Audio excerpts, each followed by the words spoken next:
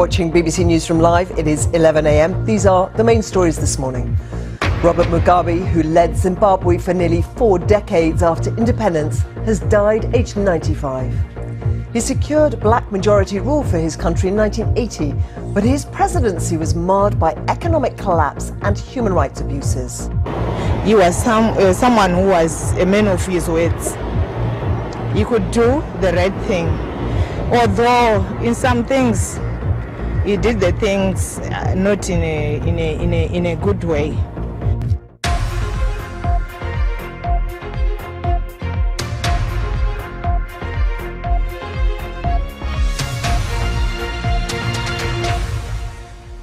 Good morning. Welcome to BBC Newsroom Live. I'm Carrie Gracie. The former president of Zimbabwe, Robert Mugabe, has died at the age of 95.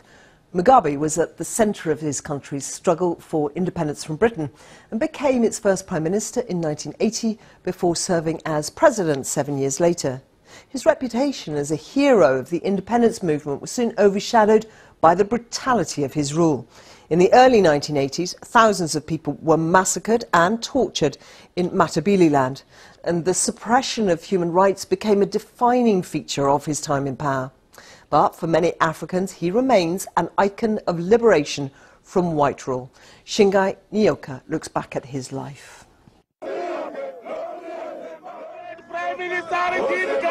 He was once Zimbabwe's liberator, leading a war against white minority rule. But by the end, the adulation President Robert Mugabe once enjoyed was gone. He cemented his power winning overwhelmingly at elections in 1980. As leader of a new nation, he set about creating a better country than the one he inherited, and for a while he succeeded. There can never be any return to the state of armed conflict which existed before our commitment to peace and the democratic process of election under the Lancaster House Agreement. Surely, this is now time to beat our swords into plowshares. But beneath the veneer lay a dark side. Mr. Mugabe deployed a crack military unit to southern Zimbabwe to deal with hundreds of insurgents. Between 1983 and 1987, thousands were murdered, and the world turned a blind eye. Mugabe was the great hope. But as the 1990s ended, the economy was bottoming out and a new political party was on the rise. Seemingly desperate to regain popularity, Mr. Mugabe played a political hand.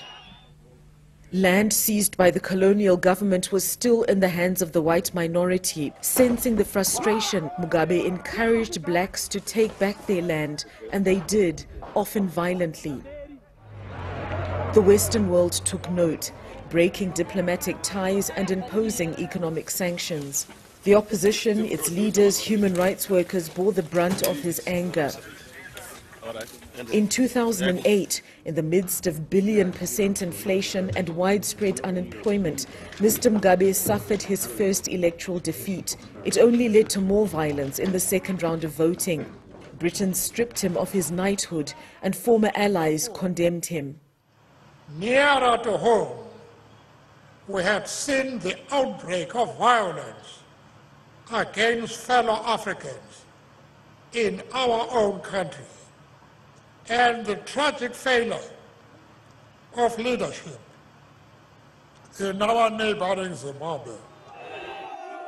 But he remained a cult-like figure among many Africans for daring to challenge Western political dominance on the world's affairs in retaliation for the measures we took to empower the black majority, the United Kingdom has mobilized her friends and allies in Europe, North America, Australia, and New Zealand to impose illegal economic sanctions against Zimbabwe.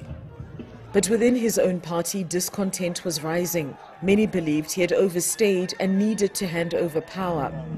His second wife, Grace Mugabe, 40 years his junior, seemed to be gaining power, and she began accusing then Vice President Emmerson Mnangagwa of trying to oust them.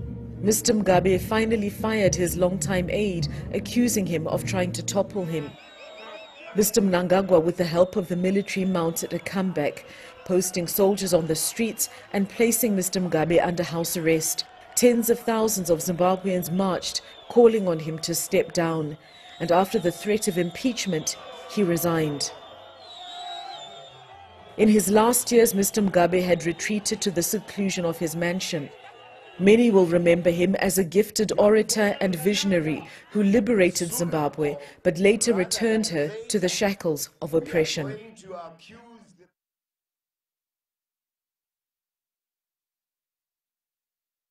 Well, Robert Mugabe died in Singapore where he'd been receiving medical treatment.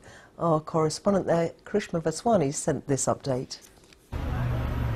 I'm standing in front of the funeral parlor in Singapore where the body of the former leader of Zimbabwe, Robert Mugabe, is. The BBC can confirm that his body is being placed on the second floor in one of the more premium suites in the building. I've been out to the back of the building where I've seen some vehicles.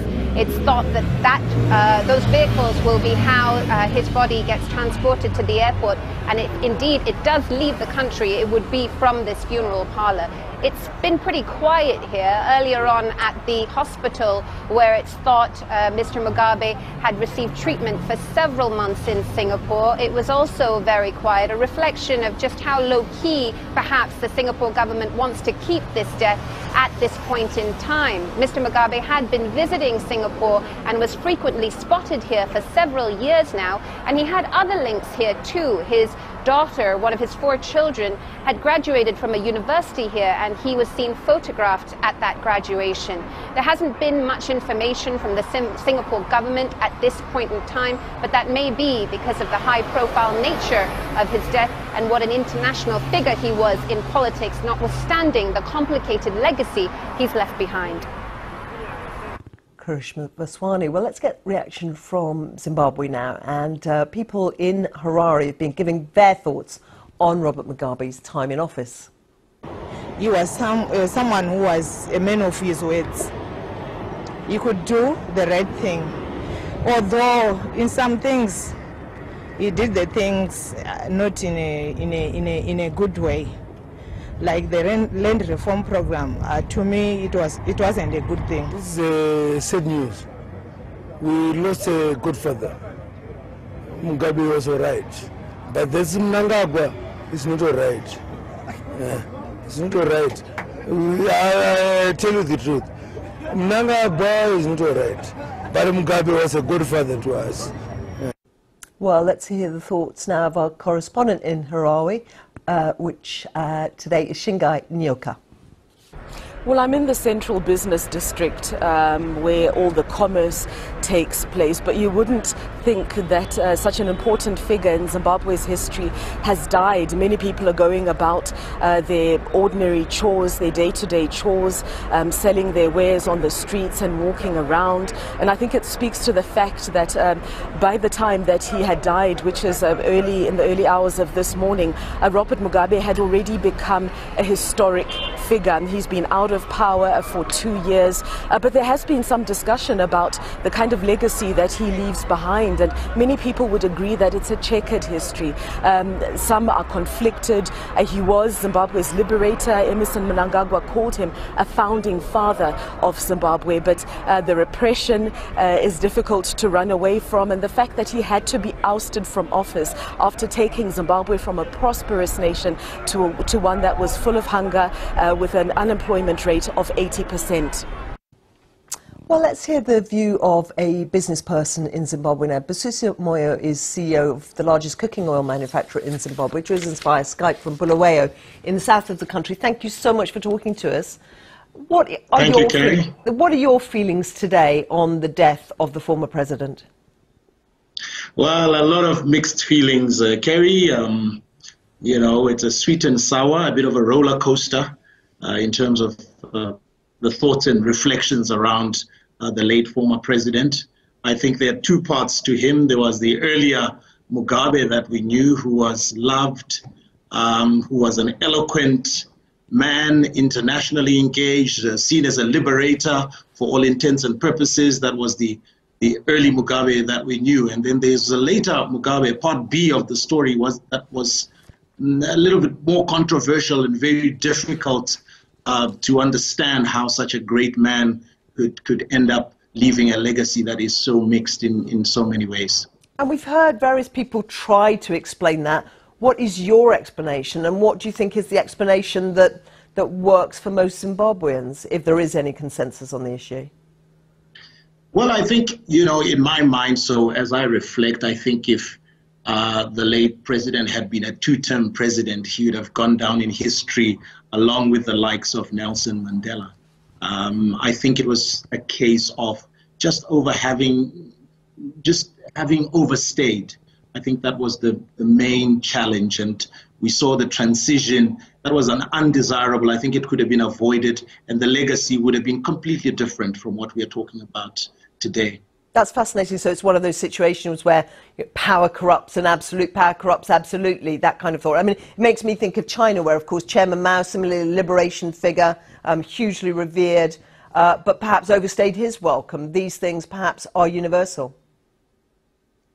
I think that, uh, that that is an interesting parallel, and uh, I think it's it's similar in this instance. Uh, I think the later years, the economy, um, you know, as a business person, the economy became subordinated and, and there's a lot of economic suffering. We have a huge diaspora that is out there because of the economic suffering. He presided over uh, rampant inflation that went into the billions. So this, this was unfortunately uh, a dark cloud over this legacy, um, among other things.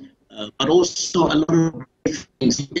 People like me um, who went to uh, schools that were, we read Tom Brown's school days because thanks of thanks to his legacy of uh, supporting an education system that was the envy of Southern Africa for many years. So a lot of good things were done in the early foundational years uh, after the liberation, except for some of the, uh, you know, the things that happened in the South. Besides that, really from an economy point of view, from building a foundation, a vibrant society, he, he, he did very well the later years were very clouded and mixed and very difficult um, to work in as a business person.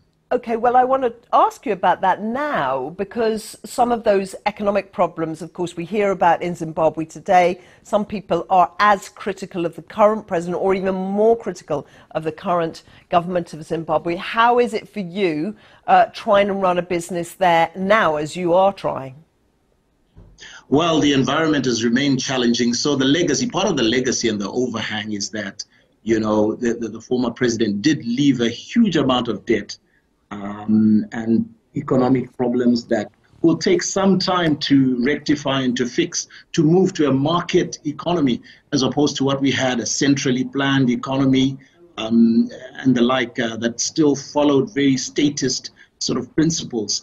Um, we are trying to help as private sector. We belong to business member organization. I'm the former president of the Confederation of Zimbabwe Industries and other business organizations to try and make an input to how we transition to a market-based economy.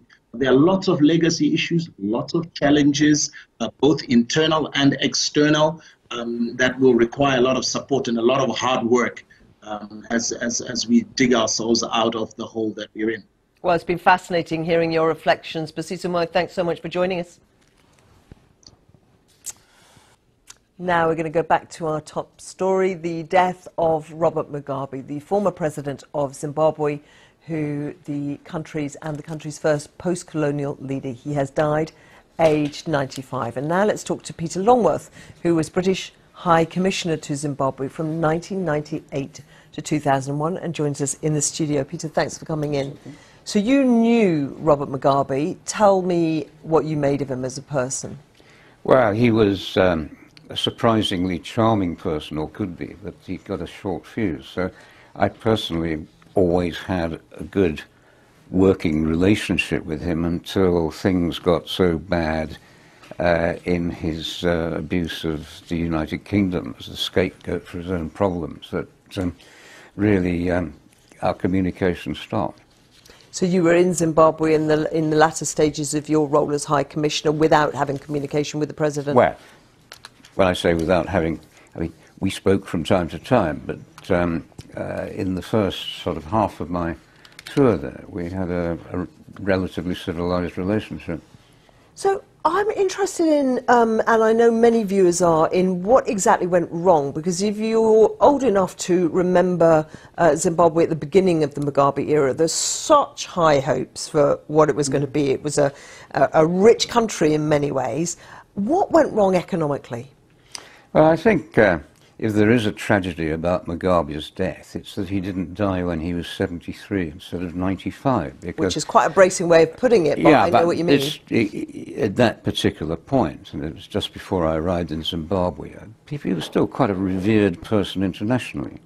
I mean, he would have gone down with Mandela and, and, and, uh, and these kind of uh, special African heroes. But um, it started really going down the tube towards the end of uh, 1997 when he was confronted with strong demands for money from his Veterans Association.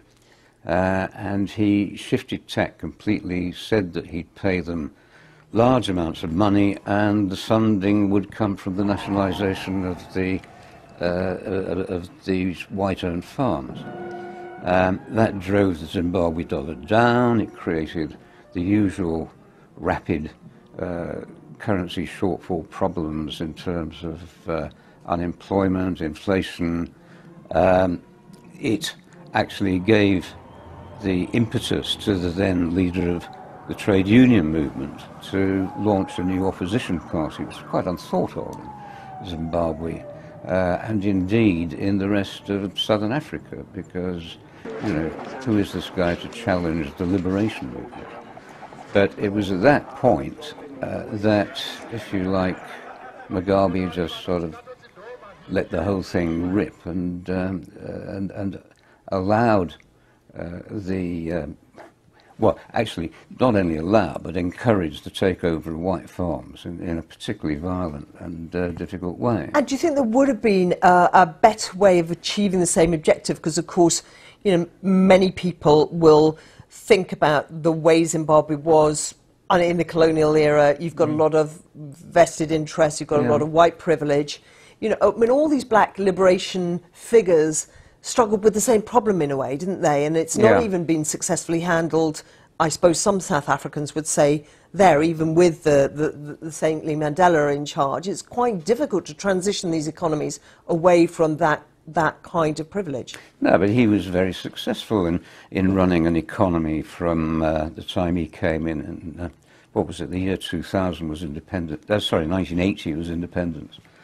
Um, and when I got there in um, early 1998, uh, having just served a spell in Johannesburg, I mean, it was quite remarkable uh, what a change I saw in terms of easy life on the streets, well-run economy, policemen so arresting criminals. So he had a success which he threw away. Yeah.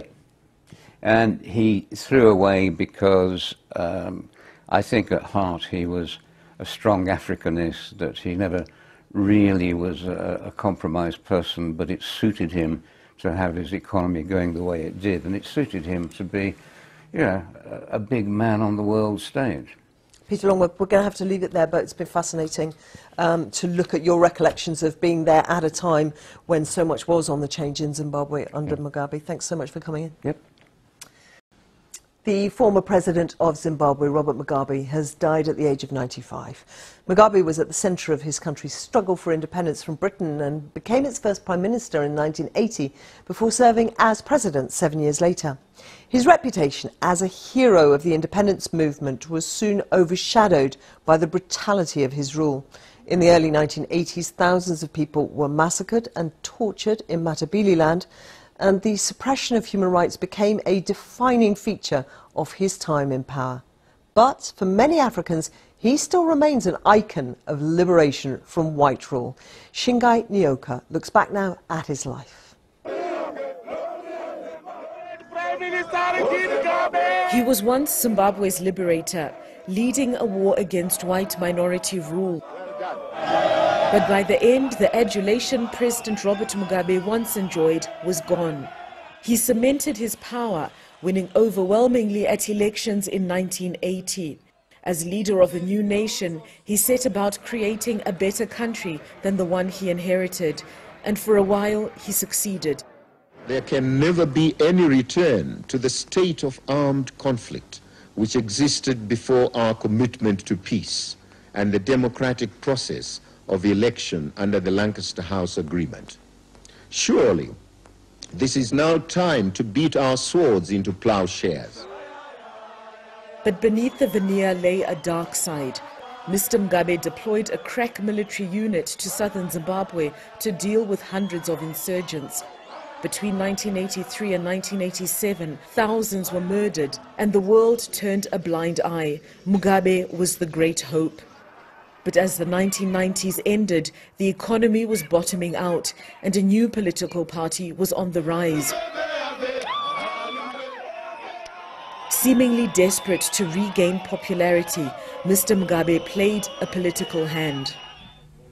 Land seized by the colonial government was still in the hands of the white minority. Sensing the frustration, Mugabe encouraged blacks to take back their land, and they did, often violently. The Western world took note, breaking diplomatic ties and imposing economic sanctions.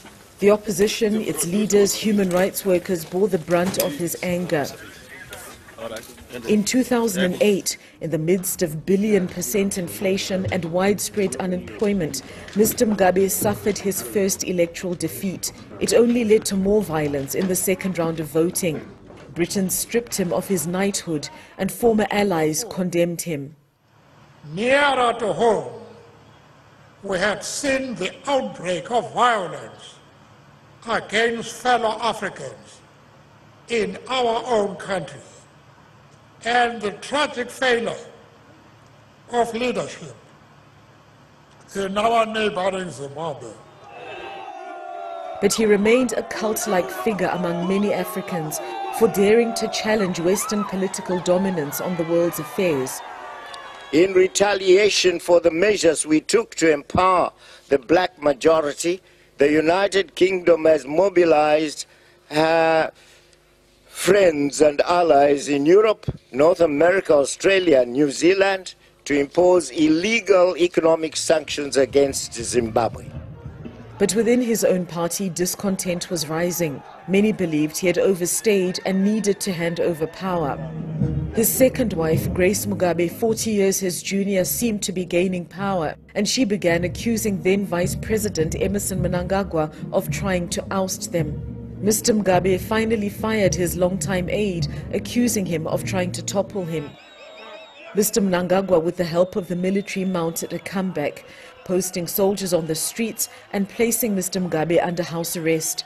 Tens of thousands of Zimbabweans marched, calling on him to step down. And after the threat of impeachment, he resigned.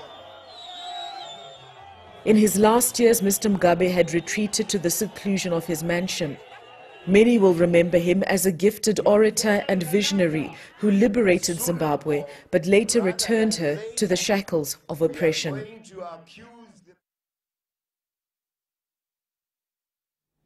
Mackie.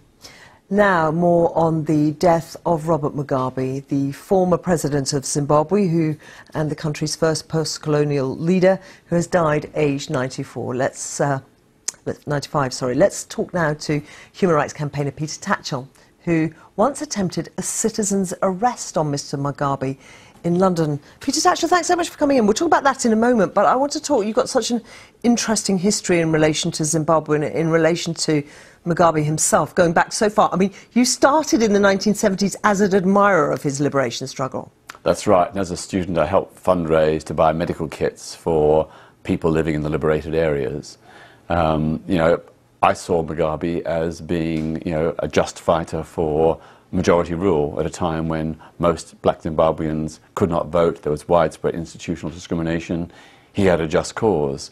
And I've got a copy of uh, his political program in 1974, and no one could disagree with it. He what, stood, even today? Yeah, he, he stood for, you know, democratic fair elections, free press, the right to protest, all the basic human rights. Yet, so sadly and so tragically, uh, this man who began as a liberation hero became a tyrant. You know, he, killed, he killed more black Africans than even the evil apartheid, regi- uh, in even the evil apartheid regime in South Africa.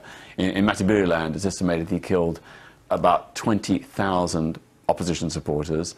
That's the equivalent of a Sharpeville massacre every day for nine months.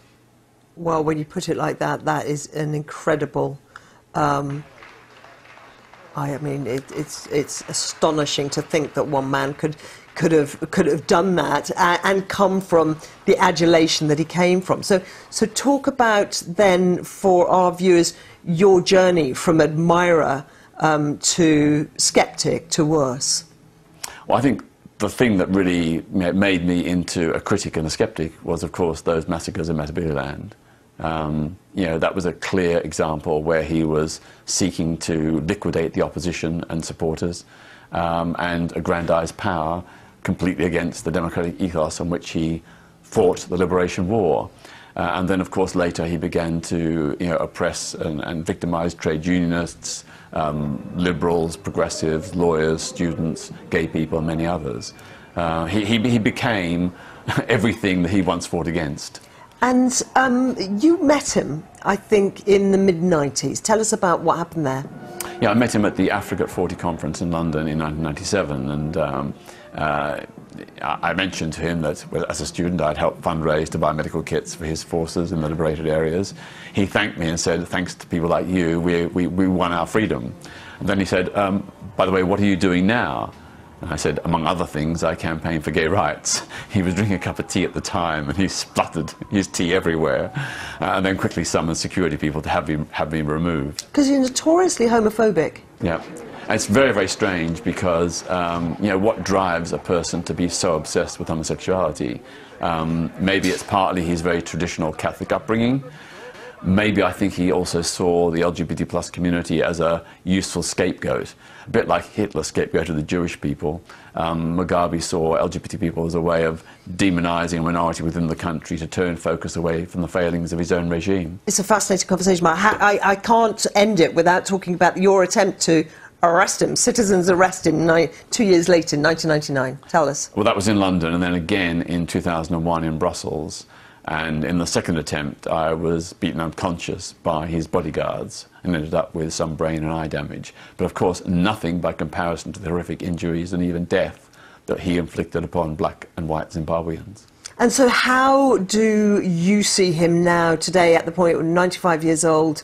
Um, he dies uh, a very complex legacy. And we've heard some black Africans today reflecting on that, the kind of things that they admired, the things that they revered, things they still cherish about his, about his life and his journey, and yet, and yet, all the other things. How does well, it balance for you? Well, he did ensure that black Zimbabweans had the right to vote that institutional discrimination was removed. There was huge investment to improve the health and education systems, which benefited the poor. Although sadly now, because of his economic incompetence, uh, those services are much diminished. But overall, I think we can say that he was a liberation hero turned tyrant, and sadly, his legacy is now much besmirched by the terrible repression he visited on his own people in the name of so-called emancipating them. Peter Tatchell, thanks so much. We could talk about this for much, much longer, but we've got to move on. He was the liberation hero who became a ruthless dictator. Robert Mugabe, the former president of Zimbabwe, has died at the age of 95. Mr. Mugabe led the independence war against white minority rule and then ruled the country for 37 years. His regime was one of brutal repression and economic mismanagement, which brought Zimbabwe to its knees. He was finally overthrown in a coup and has now died in hospital in Singapore. A warning that this report from our correspondent in Zimbabwe, Shingai Nyoka, contains flash photography.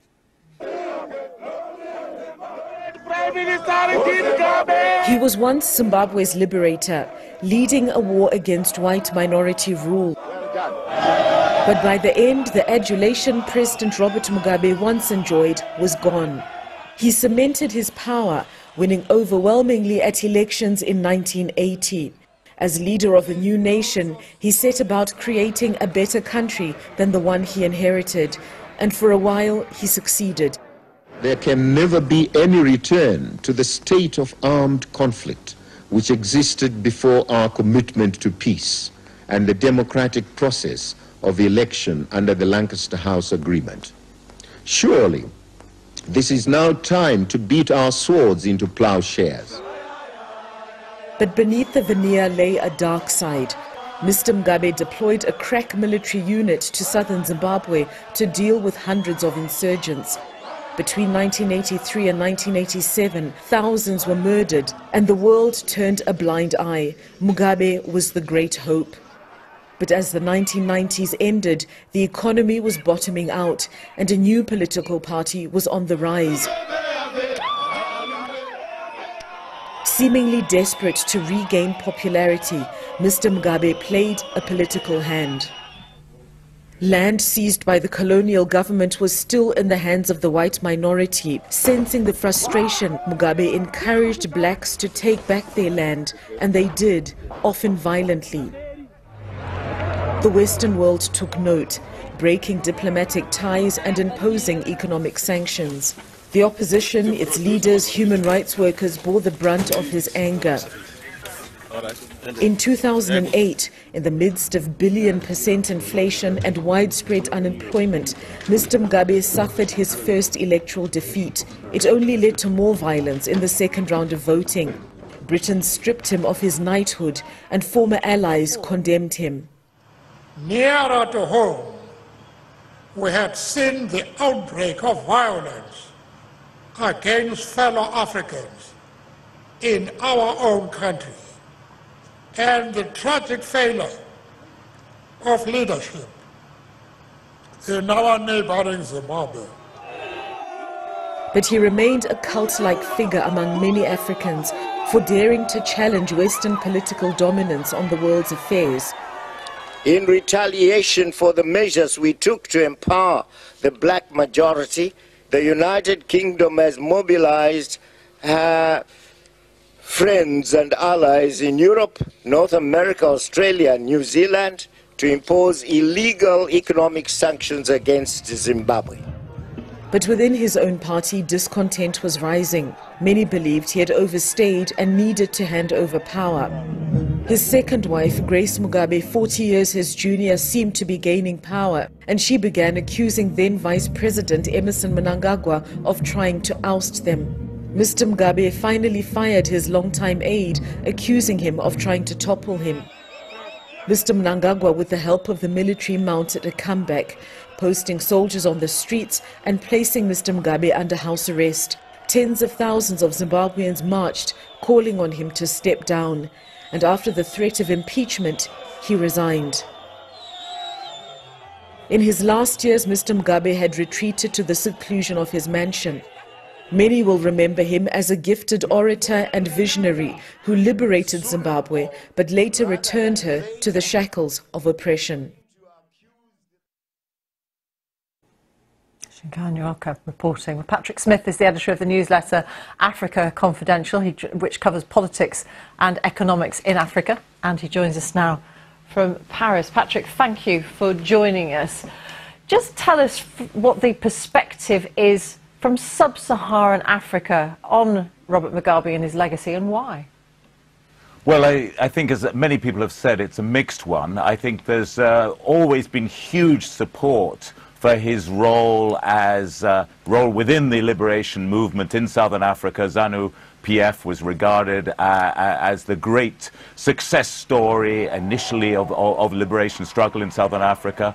Uh, uh, and then 20 years later, uh, for his campaign to lead uh, for the land re redistribution in, in, uh, in Zimbabwe. And I think that's, that's been a, a source of his, his great popularity uh, across the continent. Uh, of course, set against that is the situation within Zimbabwe itself. From the early victories in terms of extending access to education and health in Zimbabwe, we now have seen the progressive destruction of the Zimbabwean economy uh, to the extent that today you've got a, an unemployment rate in, in Zimbabwe of uh, approaching 80%, and all the political repression that has accompanied uh, the attempts uh, by the regime, the ruling party regime, to uh, suppress uh, political dissent. So I, th I think it, it, that, that, that is really the, the, the, the style of, of, the, the reaction to his demise. it's a very mixed legacy. But, but in a way, he's regarded as a liberator. How important is it the way in which Zimbabwe achieved black majority rule compared with other African countries?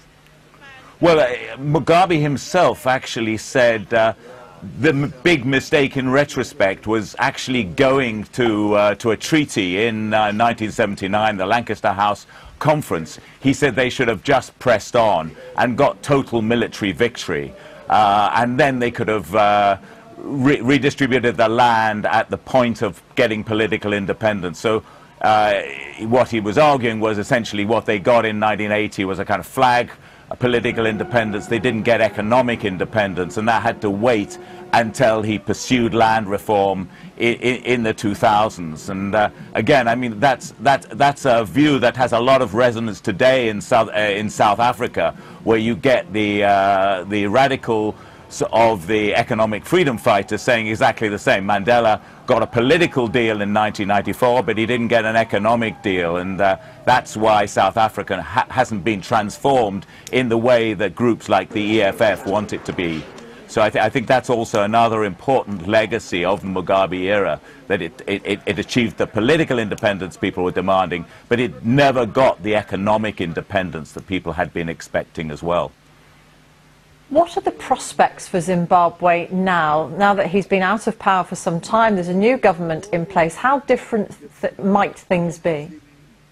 Well, I think uh, speaking to Zimbabwean friends this morning and getting their reaction, they said, look, you know, if this had happened, if Mugabe had died 15 years ago, it would have been seismic in terms of its political importance because there would have definitely been a, a, power struggle within the ruling party. The opposition would have probably been emboldened.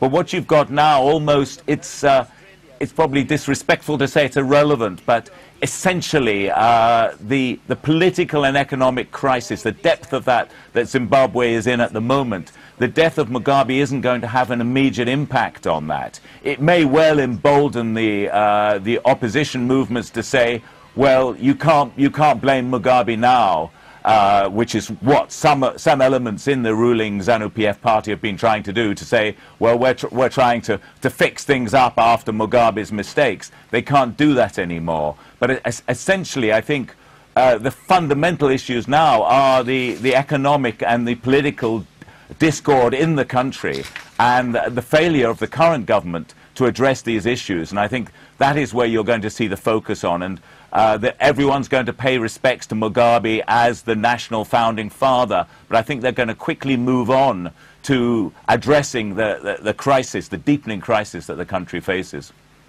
Patrick Smith from Africa Confidential, thank you very much for your time. We've been reporting the death of Robert Mugabe, who led Zimbabwe's independence movement and became the country's president for 30 years and the extent to which he divided opinion across Africa has been reflected in the way public figures around the world have reacted to his death at the age of 95. Mugabe's successor of pres uh, the president of Zimbabwe, Emmerson Mnangagwa, has praised him as an icon of liberation. But here, the former Labour Minister Lord Haines said the early promise of his leadership was outweighed by corruption and repression. Paul Adams assesses reaction to Mr Mugabe's death. What happened to Robert Mugabe? How did this African liberator, feted around the world, turn into an isolated pariah, clinging to power until his former allies decided they'd had enough? I, Robert Gabriel Mugabe, it started so well, a landslide victory in 1980 amid promises of progress and racial reconciliation. That sense of early optimism reflected in some of today's reactions. Comrade Mugabe was an icon of liberation, tweeted the man who replaced him, who dedicated his life to the emancipation and empowerment of his people. His contribution will never be forgotten.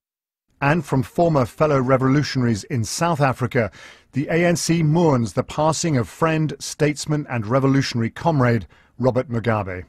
Mugabe started off as a liberation hero and somebody who was imprisoned by the old racist white minority regime of Ian Smith, tortured, not allowed to attend his son's funeral, and therefore he suffered a great deal for the cause of the liberation of, of Zimbabwe. But so too did the country he led. Robert Mugabe rarely shied away from the use of violence. It became a hallmark of his regime, profoundly troubling for opponents and colleagues alike. I'm afraid we have a deeply rooted legacy of violence in this country, and you can't just blame Robert Mugabe for that. One also has to blame uh, the intransigence of Ian Smith and the Rhodesian Front in the 1960s and 1970s. But certainly, Robert Mugabe perpetuated that culture of violence.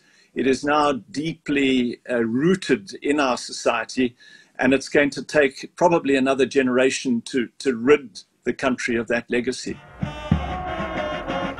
Robert Mugabe ruled Zimbabwe for 37 years. Towards the end, he seemed frail, remote, exhausted. Did he simply linger too long? If uh, the late president had been a two-term president, he would have gone down in history along with the likes of Nelson Mandela. Um, I think it was a case of just over having, just having overstayed. But on the streets that still bear his name, many Zimbabweans are inclined to be more generous. He, he was my first president. So to me, uh, he deserves a great honor. This is uh, sad news. We lost a good father. Mugabe was all right. When Emmerson Mnangagwa took over in 2017, the country seemed euphoric.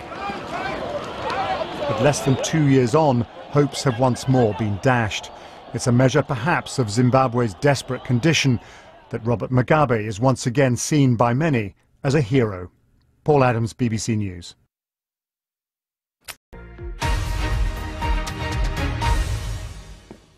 He was the liberation hero who became a ruthless dictator. Robert Mugabe, the former president of Zimbabwe, has died at the age of 95. Mr. Mugabe led the independence war against white minority rule and then ruled the country for 37 years. His regime was one of brutal repression and economic mismanagement, which brought Zimbabwe to its knees. He was finally overthrown in a coup and has now died in hospital in Singapore. A warning that this report from our correspondent in Zimbabwe, Shingai Nyoka, contains flash photography. He was once Zimbabwe's liberator, leading a war against white minority rule. But by the end, the adulation President Robert Mugabe once enjoyed was gone. He cemented his power, winning overwhelmingly at elections in 1980. As leader of a new nation, he set about creating a better country than the one he inherited. And for a while, he succeeded. There can never be any return to the state of armed conflict which existed before our commitment to peace and the democratic process of election under the Lancaster House Agreement. Surely, this is now time to beat our swords into plowshares. But beneath the veneer lay a dark side. Mr. Mugabe deployed a crack military unit to southern Zimbabwe to deal with hundreds of insurgents. Between 1983 and 1987, thousands were murdered and the world turned a blind eye. Mugabe was the great hope. But as the 1990s ended, the economy was bottoming out and a new political party was on the rise. Seemingly desperate to regain popularity, Mr. Mugabe played a political hand. Land seized by the colonial government was still in the hands of the white minority. Sensing the frustration, Mugabe encouraged blacks to take back their land, and they did, often violently. The Western world took note, breaking diplomatic ties and imposing economic sanctions. The opposition, its leaders, human rights workers bore the brunt of his anger. In 2008, in the midst of billion percent inflation and widespread unemployment, Mr. Mugabe suffered his first electoral defeat. It only led to more violence in the second round of voting. Britain stripped him of his knighthood and former allies condemned him. Nearer to home, we had seen the outbreak of violence against fellow Africans in our own country and the tragic failure of leadership in our neighboring Zimbabwe. But he remained a cult-like figure among many Africans for daring to challenge Western political dominance on the world's affairs. In retaliation for the measures we took to empower the black majority, the United Kingdom has mobilized uh, friends and allies in Europe, North America, Australia, and New Zealand to impose illegal economic sanctions against Zimbabwe. But within his own party, discontent was rising. Many believed he had overstayed and needed to hand over power. His second wife, Grace Mugabe, 40 years his junior, seemed to be gaining power, and she began accusing then Vice President Emmerson Mnangagwa of trying to oust them. Mr. Mugabe finally fired his longtime aide, accusing him of trying to topple him. Mr. Mnangagwa, with the help of the military, mounted a comeback, posting soldiers on the streets and placing Mr. Mugabe under house arrest. Tens of thousands of Zimbabweans marched, calling on him to step down. And after the threat of impeachment, he resigned.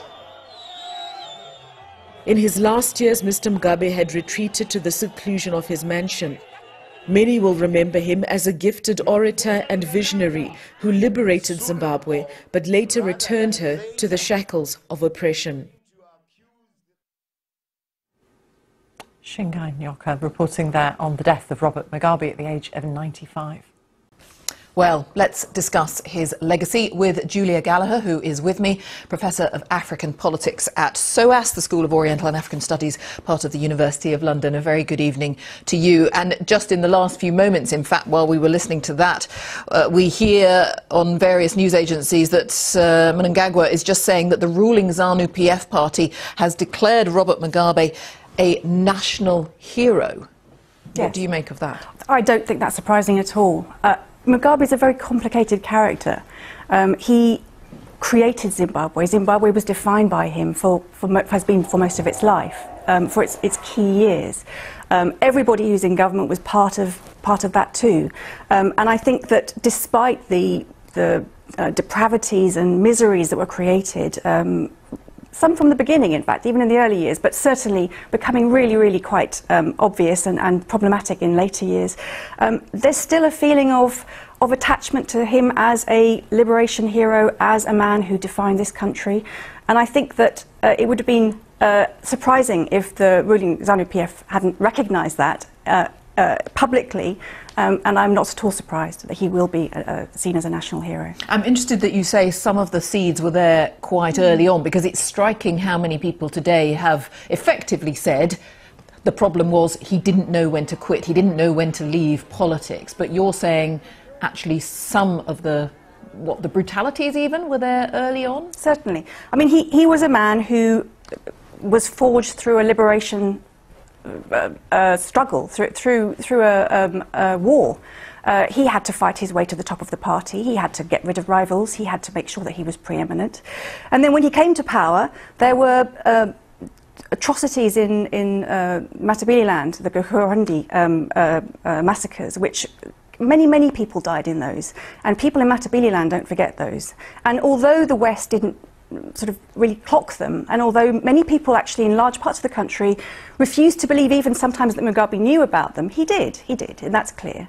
Um, and so that, that kind of, of repression was there in the early years. But similarly, his status as uh, a, a, man who had a vision for his country, a man who had a vision for post colonial Africa, for, for Pan Africanism, also continued to resonate even into the dire years.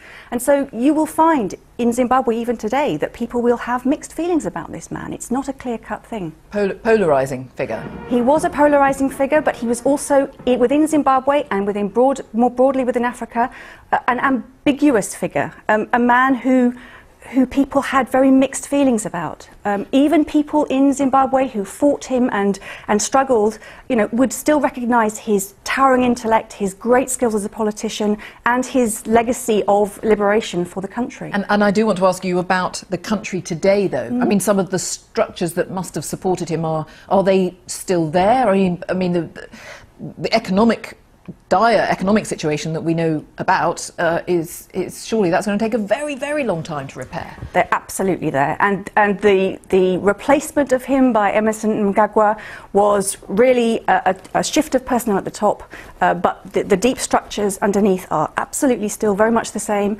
It really wasn't a revolution. It really wasn't the, the exciting overturn that, that many Zimbabweans had hoped for. It's very much business as usual, but possibly business as usual with a president who's got fewer of the impressive skills that Mugabe had, certainly in the earlier years. Mm.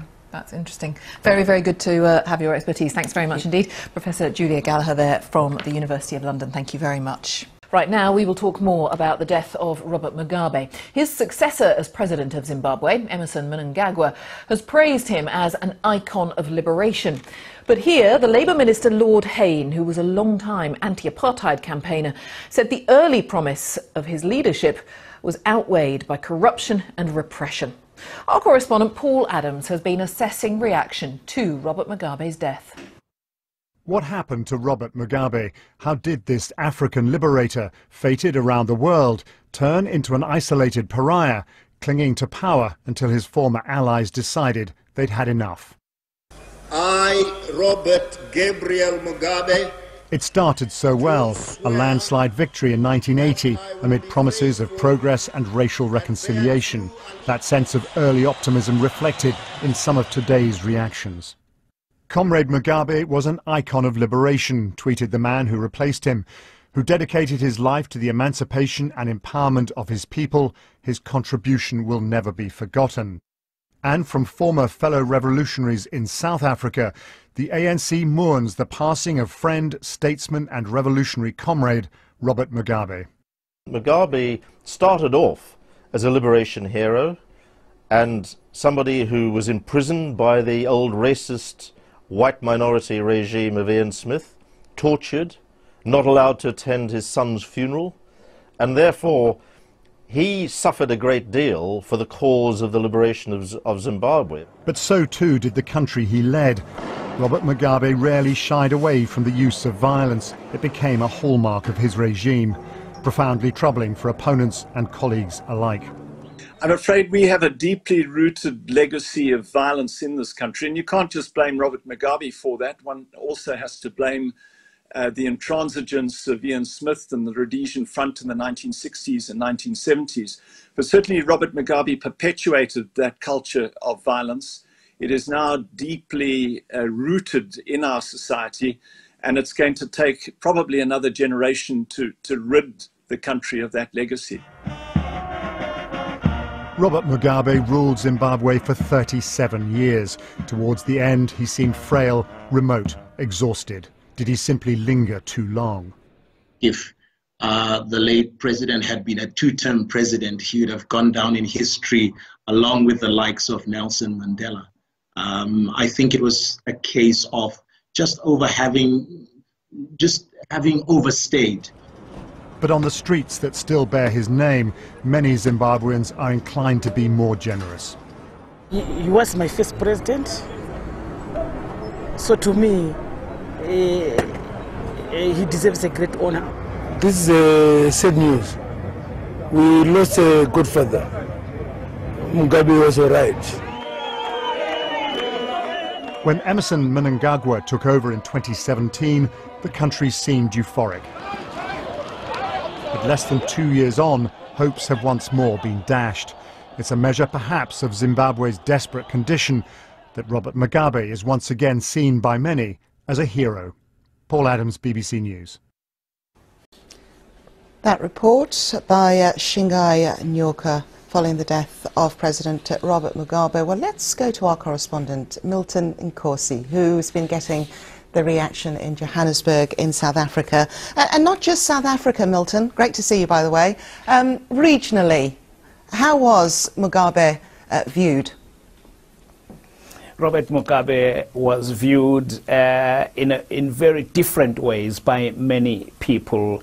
Uh, they saw a man who was a tyrant, who was a dictator, who brought misery to millions of people. Remember that in South Africa, there's an estimated of two uh, to four million Zimbabweans who have fled their own country, the economic decline there, looking for job opportunities here. And that is what a lot of people are talking about today. But there are some who remember a liberator, the man who freed them from white minority rule oppression. Remember that Robert Mugabe spent 10 years in prison fighting the white minority rule government of Ian Smith in the then Rhodesia, and he was even denied the uh, right to bury his own son at the time. And he became president. He set up an amazing education system from which millions of Zimbabweans are still benefiting today. So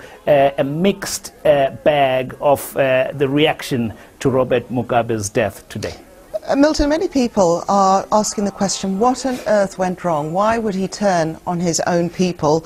And, and some analysts are pointing to his treatment in prison in Harare, um, as you said, the death of his young son and the refusal to attend his funeral, his treatment in prison, not spoken of, but uh, pretty key, and the death of his first wife. What went wrong? He became increasingly bitter as he grew older and he clung on to power for too long and in the end, he uh, got to a point where he was not making progress. He spent the better part of the first decade of his presidency doing very well in Zimbabwe. They were exporting grain, tobacco, and many other commodities uh, across the continent and across uh, the world. But uh, he soon got into that land redistribution program after he lost in a, a referendum, and uh, he started the campaign campaign of grabbing land from white farmers. From then on, things uh, didn't go right for Robert Mugabe, and he just dug in, and that is what really created uh, the situation he ended up in. The very story that he, as a former president of Zimbabwe, dies in a hospital in Singapore, that itself tells you the gravity of what's happened in that country. And finally, Milton, what, you know, there has been the accusation that so many key characters um, from the um, Mugabe era just turned a blind eye. Um, just thinking about his cohorts for the, for the liberation struggle, I'm thinking Kenneth Kaunda, I'm thinking Nelson Mandela. How did they regard him as things went wrong? Well, people did speak out. I remember Archbishop Desmond Tutu spoke out, and Nelson Mandela said there was a lack of leadership from across the Limpopo River in Zimbabwe. There were many critics, but they were doing it in a very subtle way. When the West was coming out openly and uh, in a more sort of defiant way, criticizing Robert Mugabe, there was a time when Robert Mugabe here in a conference in Johannesburg in 2002, where he told the the former Prime Minister uh, when he said, Tony Blair, keep your England and let me keep my Zimbabwe. And that gave a lot of Pan Africanists, people who had been tired of colonial rule, a bit of confidence that here's a man who's fighting for Africa's liberation. So that is how Robert Mugabe is remembered, and that's how he was treated by the leaders. But today, the official statements, even from President Cyril Ramaphosa, a great man has died, a great leader has died, and that's how uh, he is remembered officially. Okay, Milton, um, we'll see more of this, of course, uh, when the funeral takes place. But for now, thank you very much. That report was by Shingai Nyoka. Well, earlier the former Labour Minister and anti-apartheid uh, campaigner, Lord Peter Hain, gave his reaction to the death of Robert Mugabe. Mugabe began well. He promised to bring everybody together after a racist white minority rule in the old Rhodesia that he'd helped liberate. And so I and many others were thrilled when he was elected. But then later, he became corrupt, self-serving, despotic, unleashing violence and terror against anybody who didn't agree with him, rigging elections, and at the same time bankrupting his country and ruining, and ruining a rich agricultural sector to the point where they had to import food. A really disastrous record. That was Lord Peter Hain there. Well, the Zimbabwean author Douglas Rogers uh, joins us now. He wrote two books about Robert Mugabe and also uh, experiences, his experiences of the country. Thank you for speaking to us um, this evening here on BBC News. What did you think when the news first broke? Um, well, it wasn't much of a surprise. He was um, 95 years old, very frail. Um, he was uh, running out of time for the number, last number of years. Um, but uh, neither am I dancing on anyone's grave. I, th I think that's uh, it's, it's, not the right time for that. Um, it's worth bearing in mind that in a state-of-the-art hospital in Singapore, getting the finest medical treatment in the world, and um, back home his country is on life support. Um, I wonder if you could explain to viewers, Douglas, um, you've lived in the country, you understand the ways, um, why there has been so much respect that's been given to a man who has been described as a despot and a dictator. We're hearing a lot about the phrase of uh, Ubuntu. Well, uh, Mugabe, of course, was the, the leader of the uh, the liberation movement that uh, won independence from minority white rule. Um, and for a number of years, for the first decade, I'd say 15 years possibly, um, he did uh, impressive things in Zimbabwe. Um, the record was patchy in those early years, but um, Zimbabwe's literacy, it had a, a, a, thriving economy, a good healthcare system, and was for many years the model post-colonial African country. Um, and I think there's the legacy, obviously, of liberation war, but the memory of that. Um, and yeah, defeat colonial rule. Your memoirs were called uh, the, the, the, Last Resort, and they've been described as a, a, moving testament to the love and loyalty inspired by Zimbabwe and her people. Why do you think there was, and still is to a certain degree, a great love for Zimbabwe? Tell us about the potential that the country never quite reached. Well, um, Mugabe died in Singapore, um, and uh, Zimbabwe could have been the Singapore of Africa. Um, it has uh, far greater resources than Singapore does. Um, it uh, has, as I mentioned earlier, a highly literate population, very educated. Um, and anyone who visits Zimbabwe falls in love with it, um, it, mostly with its people, but obviously its, its beautiful landscape. Um, but if you were to go to Zimbabwe now, um, you would struggle to get electricity. Obviously, the economy is in a shambles, and the country is incredibly fractious and divided in a way it wasn't um, 15, 20 years ago. Douglas, what was it like in the early days when Mugabe first took power? And at what point did it change and what did it do to your family? Well, I was very young at uh, independence in 1980. Um, I was 12 years old. Um, I do recall a, a speech Mugabe made uh, when he won that election in 1980 um, a lot of white uh, Rhodesians fled the country over the next few years, fearing a dictatorship um, and Marxism. And I remember he made an incredible speech on national television, um, basically about reconciliation. And if I fought you as an enemy, you are now my friend. That was one of the reason my, reasons my parents stayed in the country. Um, but 20 years later, Mugabe turned his his guns on them, on people like them, and on uh, his political opponents who, after 20 years, had uh, had enough of his rule. When you say turned his guns on them, what happened? What was the experience? Well, in 2000, if you recall, he, he lost a referendum to change the constitution, and it was the first uh, election uh, national vote that he'd ever lost. And his response, his response, always Mugabe's response was to find an enemy uh, he never took responsibility uh, for any problems in the country, uh, for corruption, for misrule. Um, so he always found an enemy. And in the 2000, he uh, he found uh, he started using um, colonial rule. White farmers, white landowners, he started to blame them for the country's problems.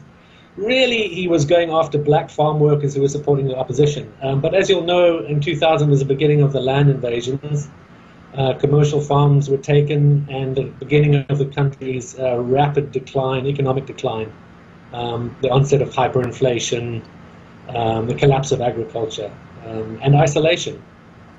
Um, what hopes do you have for Zimbabwe now? Would you ever go back?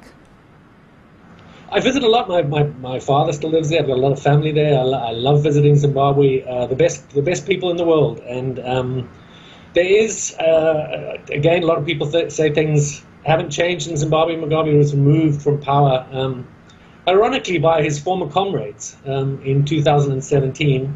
Um, but as anyone knows, the economic situation in Zimbabwe has not improved. Um, it's as divided as ever. Um, we can only hope through people who are um, uh, generally like some of the most welcoming and smartest and brightest people um, can put it back on its feet. Um, but one of the tragedies, of course, is three or four million people live outside the country, in South Africa, in the UK. Um, there is a great irony is uh, how many Zimbabweans work the, for the National Health Service in Britain, and um, that's because they can't find uh, jobs, careers in Zimbabwe. It, it did lo lose all its um, people wealth, didn't it? Douglas Rogers, thank you very much for your time and your, your reflections. Thank you. Thank you. York Bureau. Let's talk about the other big story of the day. That's the former Former president of Zimbabwe, Robert Mugabe, has died in Singapore, where he'd been receiving medical treatment. He was 95 years old. Mr. Mugabe was Zimbabwe's first leader after the country gained independence from Britain back in 1980. But by the late 1990s, his rule was defined by an economic crisis marked by high interest rates, inflation, and later the seizure of white owned farms to resettle black farmers. Okay, Okay, let's get more. Milton Nkosi is our South Africa business correspondent and joins us from Johannesburg. Milton, always lovely to see you as well, my friend. Uh, I think it's fair to say today the Zimbabwean economy is still a bit of a basket case. Uh, inflation, I think, in June was 175%. But when Robert Mugabe was in power, something like in his first 15 or so years, this was the most diversified economy in Africa, and certainly it was the breadbasket. Oh, yes. Uh, at that time, uh, Zimbabwe was even exporting materials, particularly tobacco and uh, grain, um, across the region and other parts of the world. Robert Mugabe had set up a fantastic education system, which is still beneficial to millions of Zimbabweans who are this side of the Limpopo River here in South Africa looking for uh, a better economic uh, life. Uh, it is believed that uh, between two and four million Zimbabweans are in South Africa, and they're being hired uh, partly because they come from that very rich education system set up by Robert Mugabe in those early years. Mm. And can I ask you then, so it leads us to go, what went wrong? We know there was the confiscation, if you will, of the white farmland. Was that, was that given to black farmers? Was that mishandled? But was it also a combination of... Um, of, uh, you know, what many of the countries around the, the West were, were doing, sanctions, for example, on Zimbabwe.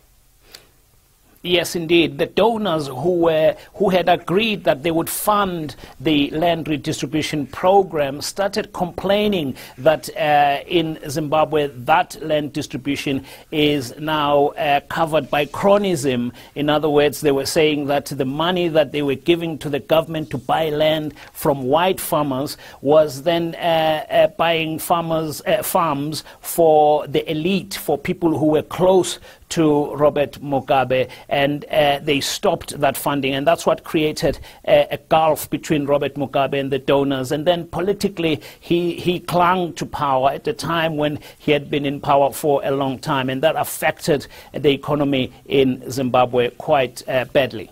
Indeed, it did. Milton Nkosi, always a pleasure. You have a lovely weekend as well, and we'll talk to you soon. Thanks very much joining us live there from Johannesburg. Uh, let's just touch on. Hello, this is Impact, bringing you all the day's top stories and later in the programme more news in depth. I'm Tim Willcox. Liberation hero or ruthless dictator? Zimbabwe's former president Robert Mugabe is dead at 95. He is our former president and he liberated us from the colonists as well as giving us land. He was a dictator to others, he was a hero to others. So uh, he has done a lot for other people, but other people think he was a bad guy. We'll have global reaction to his death and consider his legacy for Africa and indeed the rest of the world. Also coming up on Impact.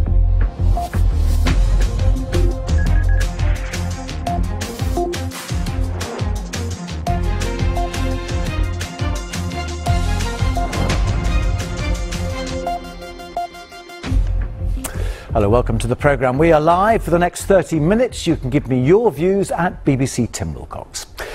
A liberation hero and towering figure in African history, or a ruthless dictator who turned his country into a pariah state and led his people into poverty. Two views of one man, Robert Mugabe, the former president of Zimbabwe, who has died at the age of 95. Mugabe led the independence war against white minority rule in what was then Rhodesia, but when he took power, he brought economic ruin to a country rich in resources. Thousands of his opponents were murdered. After 37 years in power, he was finally overthrown in a soft coup. That was in 2017.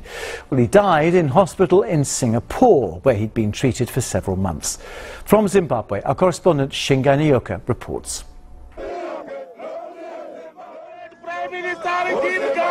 He was once Zimbabwe's liberator, leading a war against white minority rule. But by the end, the adulation President Robert Mugabe once enjoyed was gone. He cemented his power, winning overwhelmingly at elections in 1980. As leader of a new nation, he set about creating a better country than the one he inherited, and for a while he succeeded. There can never be any return to the state of armed conflict which existed before our commitment to peace and the democratic process of election under the Lancaster House Agreement. Surely, this is now time to beat our swords into plowshares. But beneath the veneer lay a dark side. Mr. Mugabe deployed a crack military unit to southern Zimbabwe to deal with hundreds of insurgents. Between 1983 and 1987, thousands were murdered and the world turned a blind eye. In 2008, in the midst of billion percent inflation and widespread unemployment, Mr. Mugabe suffered his first electoral defeat. It only led to more violence in the second round of voting. Britain stripped him of his knighthood, but he remained a cult-like figure among many Africans for daring to challenge Western political dominance on the world's affairs. But within his own party, discontent was rising. Many believed he had overstayed and needed to hand over power. His second wife, Grace Mugabe, 40 years his junior, seemed to be gaining power, and she began accusing then Vice President Emmerson Mnangagwa of trying to oust them. Mr. Mugabe finally fired his longtime aide, accusing him of trying to topple him. Mr. Mnangagwa, with the help of the military, mounted a comeback, posting soldiers on the streets and placing Mr. Mugabe under house arrest. Tens of thousands of Zimbabweans marched, calling on him to step down. And after the threat of impeachment, he resigned. In his last years, Mr. Mugabe had retreated to the seclusion of his mansion. Many will remember him as a gifted orator and visionary who liberated Zimbabwe but later returned her to the shackles of oppression.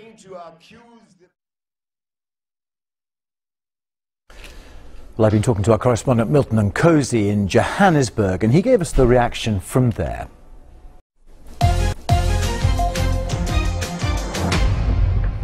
You're watching Impact on BBC World News. A reminder of our main story. The former president of Zimbabwe, Robert Mugabe, has died at the age of 95. He led his country to independence in 1980, but his 37 year rule was marked by economic collapse and human rights abuses. Well, let's uh, speak now to the Zimbabwean author, journalist, and former human rights lawyer, uh, Peter Godwin. 95 years old, do you accept that when he first took power, he was a force for good? Um, kind of. I mean, I think the thing about Mugabe is that everybody, the, the, the way that we're that we're projecting him now is that he was a good leader turned bad. And actually, if you look at his political DNA, he was using violence right from the beginning, and it served him well. In, in what way was that violence shown there? I'm, I'm looking across the board now in terms of the fact that he was a he was a, a, a freedom fighter. He fought against obviously uh, UDI in, in what was then Rhodesia. When you look at his education policies, when you look at this idea of trying to bring uh, society together, did he not advocate that quite successfully? He did. I mean, I suppose what I'm referring to is the fact that um, both in early ZANU PF leadership struggles, that it was very violent. that his struggle against white rule was violent, albeit morally morally um, worth doing and you know successful that he then was very violent in, in Matabeleland in the early 1980s in Gukurahundi and the Matabeleland massacres. And he then used violence against political opponents when he once he'd established a one-party state. And then he used violence again to clear the to clear land. So in that sense you have an underpinning of violence all the way through. And I think Mugabe was always much more interested in power than he was in democracy without any redeeming features at all? No, he. I mean, listen. Health and education early on were were successes. Um, there's there's no getting away from that, and and one one should acknowledge that. But I think that the, problem was that you know Mugabe was much more consistent, and, and certainly whenever he faced any sort of challenge to his authority. Uh, so all I'm trying to say is that he was very consistent. What happened was that the world changed in a number of ways. It changed in 1990, in particular, when when Nelson Mandela came out of prison and apartheid started to crumble, and also at the end of the Cold War, and that changed everything for Mugabe. You, you, lived there, you returned there, uh, I think with family members, your, your sister. Uh, you, you, wrote a book about fear, the last days of Robert Mugabe, when you thought his, his days were numbered back in uh, 2008. Just describe what you had seen over the decades of how Zimbabwe had been taken from this abundant, wealthy uh, nation to a country with what, at one stage, I think a billion percent inflation.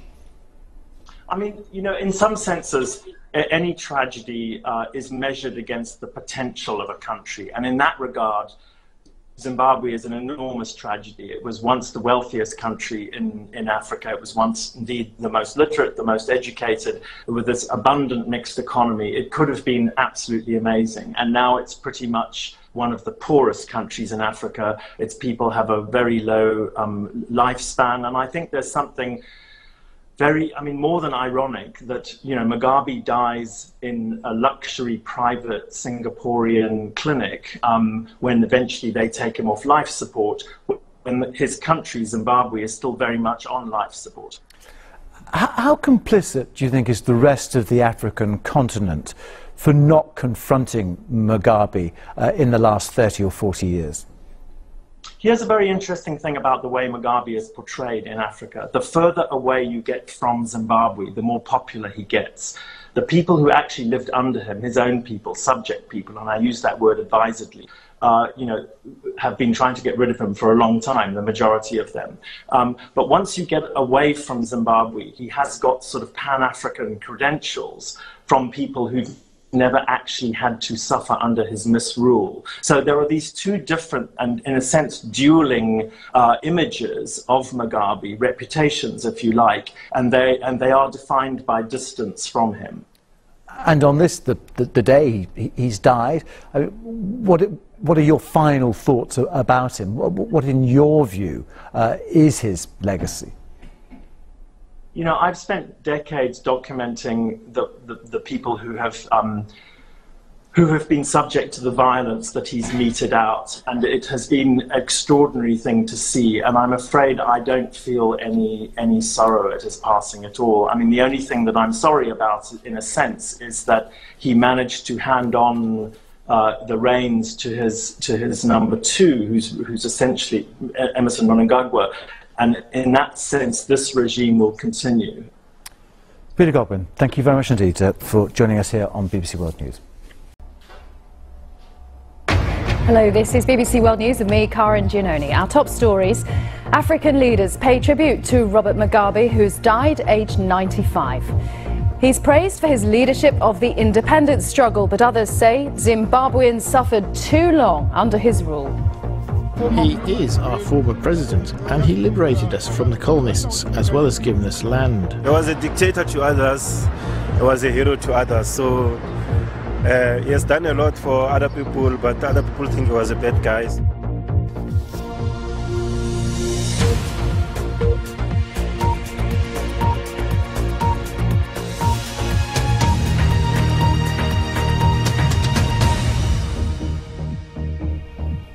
Hello, welcome to BBC World News.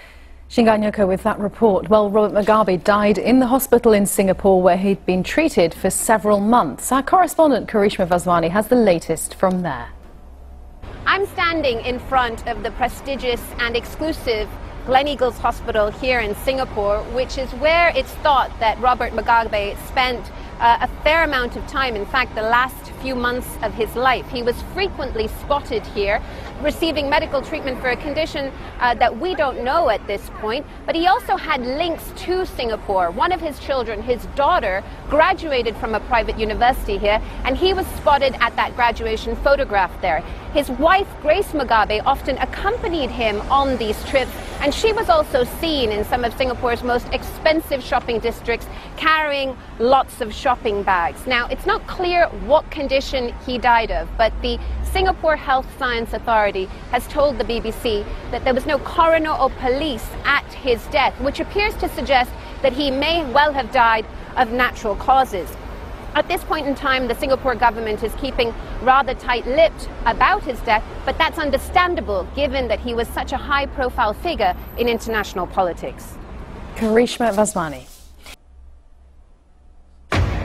Hello, this is BBC World News. I'm Karin Giannone. Our top stories African leaders pay tribute to Robert Mugabe, who's died aged 95. He's praised for his leadership of the independence struggle, but others say Zimbabweans suffered too long under his rule.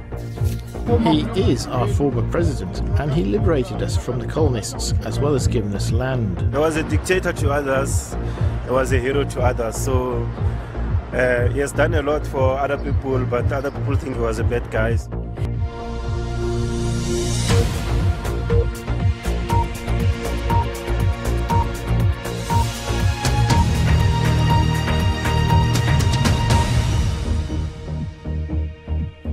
Hello, welcome to BBC World News. Let's take you straight to the Zimbabwean capital, Harare, and the State House there, where President Emmerson Mnangagwa is giving a statement to the nation.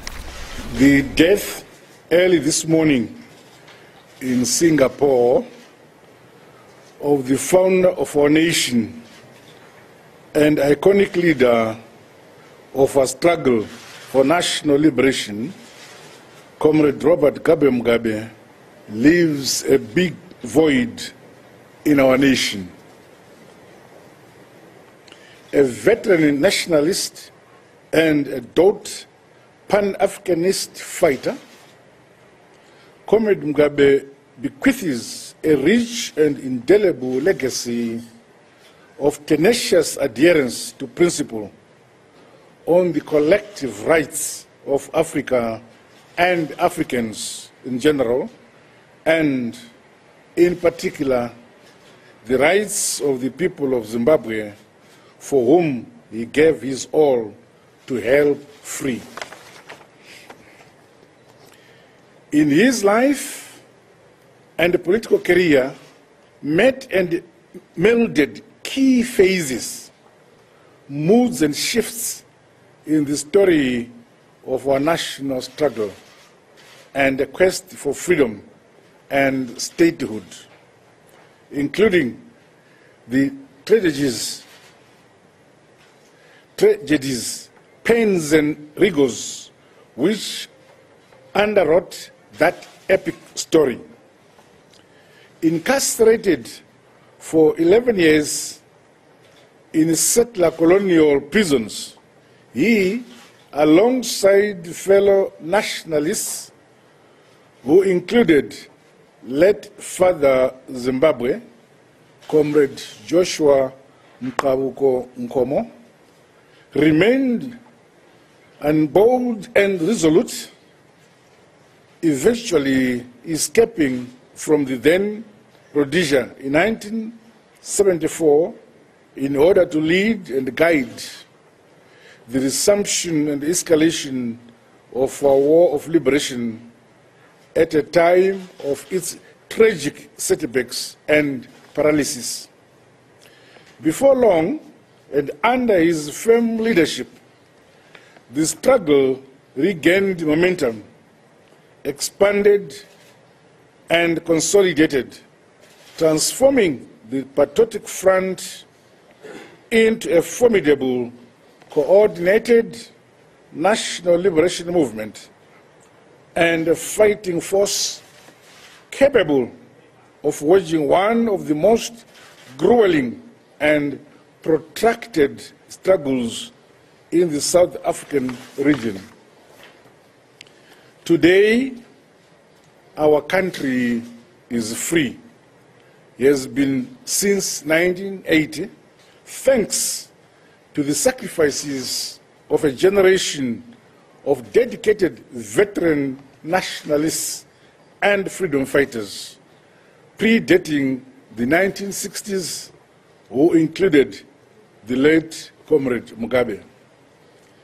A great teacher and a mentor, the bitterness of long spells in incarceration and anguish of a brutal and a bitter war never extinguished Comrade Mugabe's forgiving inner humanity.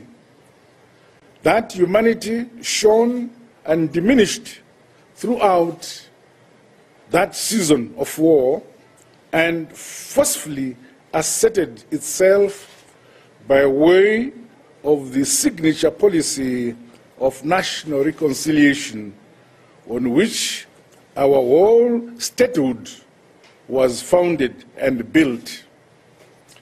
Through that policy of forgiveness, Southern African politics took a definitive shift towards a just, post-conflict, multiracial harmony, which would be replicated elsewhere in our region and beyond.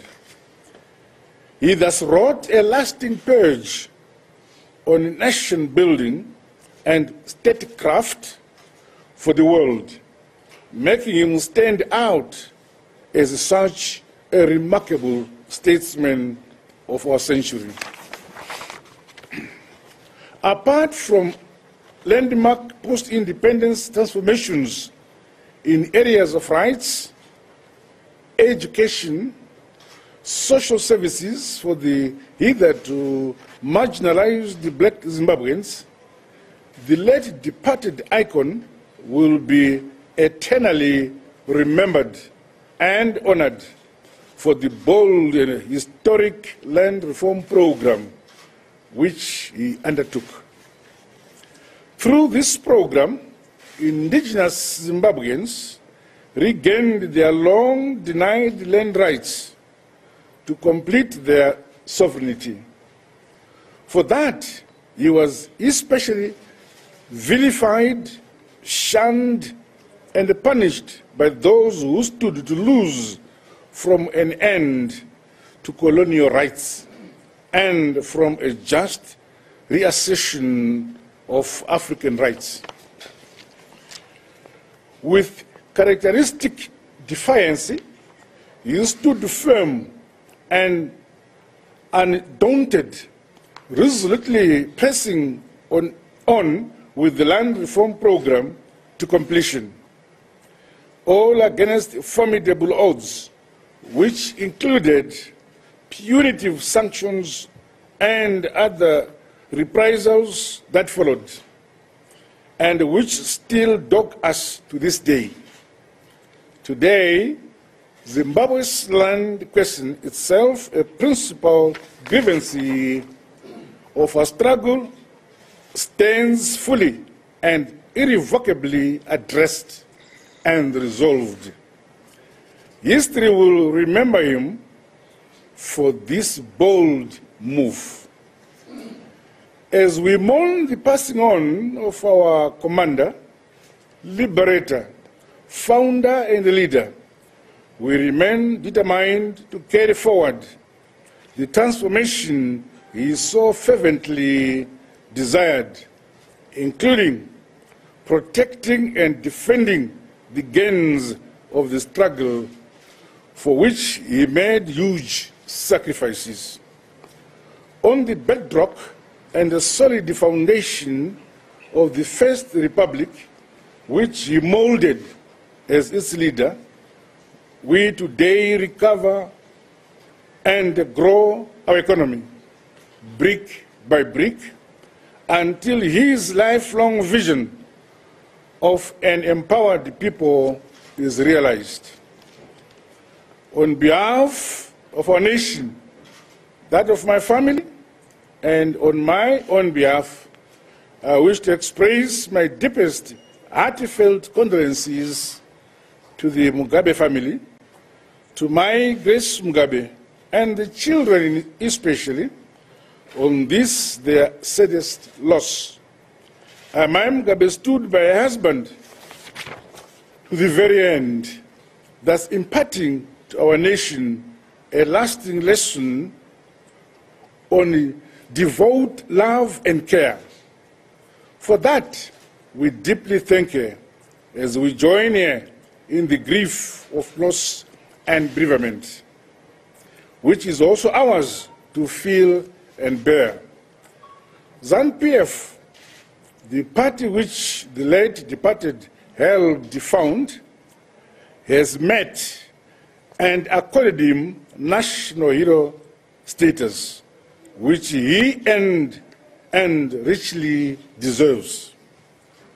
Let me also register the gratitude of government and our entire nation to the government and people of the Republic of Singapore for the unmatched hospitality and medical care they extended to our leader up to the very end.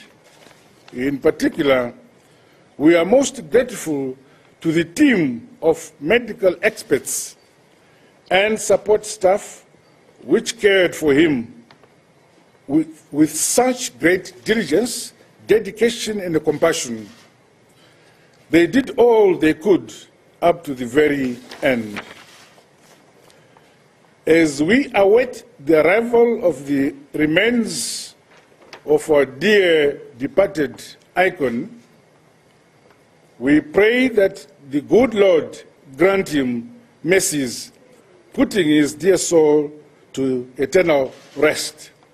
We as Zimbabweans declare days of mourning for our leader until he is buried. I thank you. Thank you very much, Comrade President. Well, that is Zimbabwe's President Emmerson Mnangagwa, a long-time ally of President Mugabe, paying a glowing tribute, recalling uh, Robert Mugabe as an in, a liberation hero of the independence struggle, the founder of the National Liberation Movement, talking about uh, how our country is free today. It has been since 1980. A very uncritical and loyal tribute to Robert Mugabe, uh, glowing talking about him as a great teacher, a remarkable statesman of our century. He also talked about how he would be eternally remembered and honoured for the bold land reform programme, that highly controversial land reform programme that the country undertook, and said he'd been vilified, shunned and punished by those who stood to lose from the end of colonial rights. We will have uh, plenty more on the death of Robert Mugabe in uh, the next edition of Outside of uh, BBC World News and the focus on Africa in the next hour or so. Now, the former president of Zimbabwe, Robert Mugabe, has died in Singapore, where he'd been receiving medical treatment. He was 95. Now, Mr. Mugabe was Zimbabwe's first leader after the country gained independence from Britain in 1980. But by the late 1990s, his rule was defined by an economic crisis marked by high interest rates, inflation, and later the seizure of white-owned farms to resettle black farmers. Now, Milton Nkosi is our South Africa correspondent, and he joins us from Johannesburg.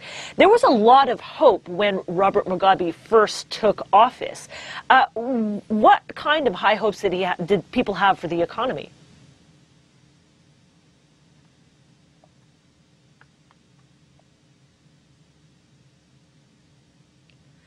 Apologies there, we have lost sound, so we're going to try and reestablish that. Actually, let's try that again. Robert, can you, uh, I'm sorry, can you hear me right now? Milton. Yes, I can hear you loud and clear, Samira. Can you see me? Can you hear me? We've got it all under control. Thank you very much. So I want to start by asking, you know, when he took power, uh, it started out quite well with everyone having a lot of high hopes for the economy. Yes, indeed. It was a time of independence, a post colonial time in 1980 when Robert Mugabe took over the reins of power in Zimbabwe.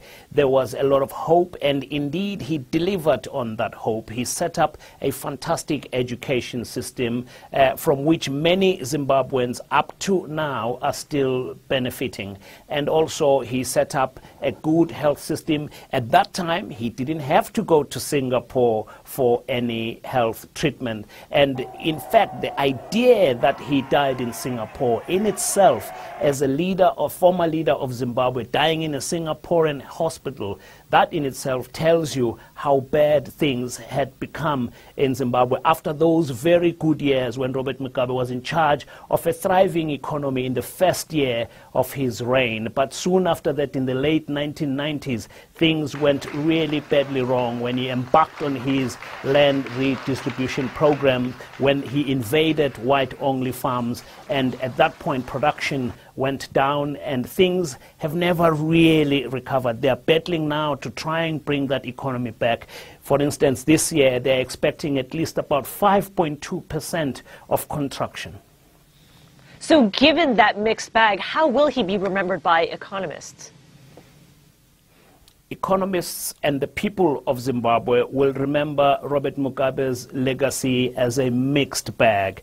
Many people will remember him as a liberator, a person who told the British Prime Minister Tony Blair, keep your England, let me keep my Zimbabwe. That gave them a lot of confidence. It looked like it was part of an African renaissance of some sort. But there are many who remember the tyrant, the dictator, the man who abused uh, many people in Zimbabwe, particularly those in the opposition. And so uh, it's a mixed bag. Here in South Africa, the unemployment is about 28%, and there are plus minus two to four million Zimbabweans working here who are looking for better economic opportunities because Robert Mugabe's policies in Zimbabwe brought that economy into sharp decline. Milton, just very briefly, what's the reaction been like the reaction has been subdued, uh, unlike uh, when Nelson Mandela died here in 2013, for instance. So people are not out in the streets, outpouring of grief. It's been very subdued. A lot of people have expressed their feelings uh, about the passing of Robert Mugabe as a great liberator, and of course, others thinking of him as a tyrant and a dictator. Uh, Milton Nkosi, thank you so much for your time. That was very insightful. That was Milton Nkosi joining us there. Uh, so we.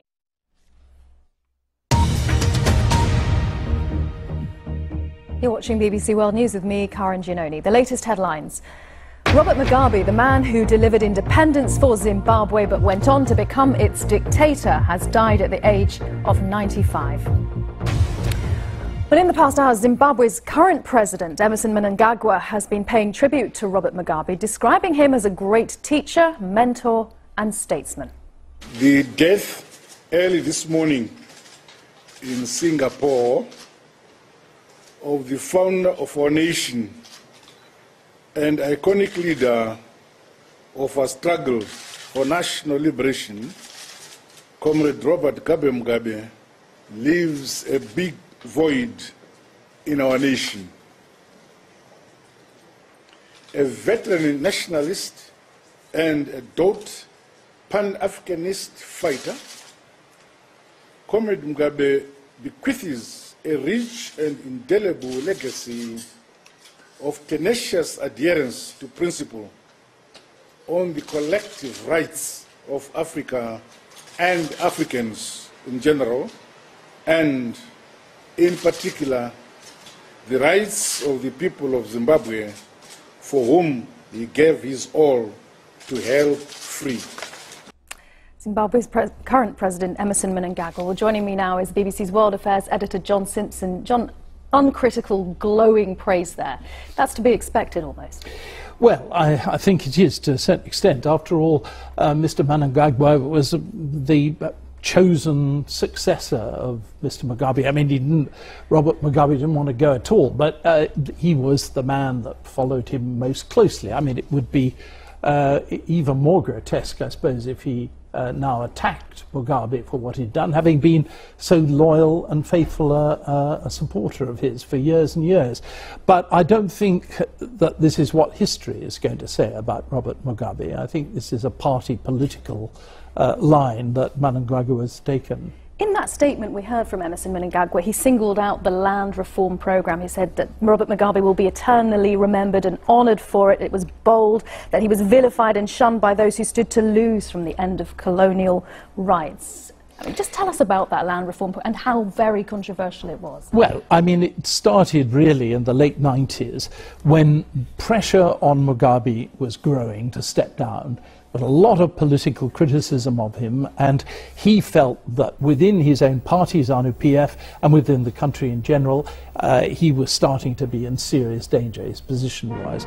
And uh, so he, um, rather characteristically, I'm afraid, uh, chose um, a way out which would distract attention from himself and his position. And that was to uh, get the mostly young kids, really, from uh, ZANU PF's uh, youth wing to go and uh, take over the, the, the, farms of, of white farmers. Not all of them, but uh, a, a significant number of them. And uh, that is what, what happened. There was a certain amount of violence. I mean, not, not as much as there had been in Matabeleland some years earlier when Mugabe uh, destroyed perhaps 20,000 people uh, uh in Matabeleland. But nevertheless, um, there, there, were, there were some, uh, some deaths and some, uh, a lot of injuries. And of course, uh, the result was the utter collapse of the Zimbabwean economy. Uh, I was there in 2008, um, and uh, the BBC was banned, but I, I, managed to get in there. And um, the uh, rate of inflation year on year at that stage in 2008 was 89 sextillion percent. I mean, that's, I think that's, that's 21 zeros. I, I went to have a meal and the price went up four times during the meal.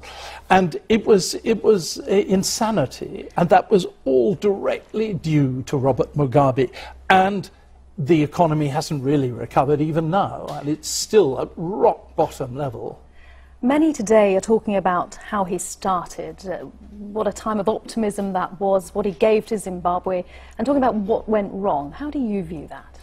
Well, when he started, he did indeed uh, seem to be uh, quite forgiving um, uh, and uh, to have the, the sense that uh, Zimbabwe belonged to all its inhabitants.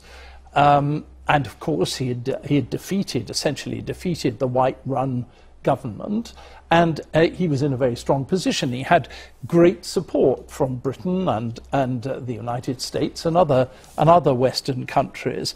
Um, and, and yet, uh, again, his, he wanted to, to dominate politics there. He had been heavily um, challenged by the Ndebele people, uh, led by Joshua Nkomo, and uh, so he sent his forces in to carry out uh, appalling atrocities there. And so, uh, within a few, a few years of saying these very positive things, he was doing the absolute reverse. And yet, the world kept pretty much quiet about it. John, thank you very much. John Simpson, our World Affairs editor.